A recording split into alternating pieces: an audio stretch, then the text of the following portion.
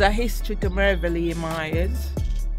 My father never called me Ratty. Want to know why? The more them get it, is the more them want it. Get what? Get what? Yes, people, this is Mervelee Myers, your blogger from Alma Grove, giving you an update on the situation with my husband. It's cognitive decline syndrome. Taking this right here before because I performed at the Globe Theatre. I did sing at the Globe Theatre for my history.